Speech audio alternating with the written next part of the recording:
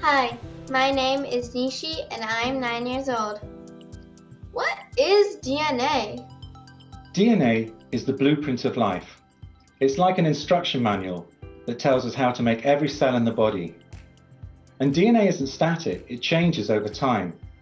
A little change is normal, but too much change can lead to a serious illness, such as cancer, which is why our cells have a number of different ways to repair DNA.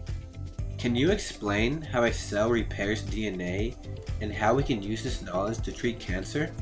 It's useful to think of a cell like a four legged table. It's sturdy and it has four different ways to repair the DNA.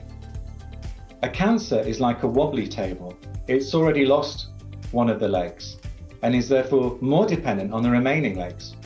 What scientists are trying to do is find ways to target one of the remaining legs to make the cancer table so unstable it falls over and dies.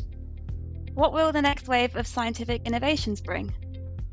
We already have medicines such as PARP inhibitors based on the idea of targeting DNA repair dependencies. We're now building on that concept using innovative precision medicine approaches to understand each cancer's DNA repair vulnerability so we can match that with the most appropriate targeted therapy.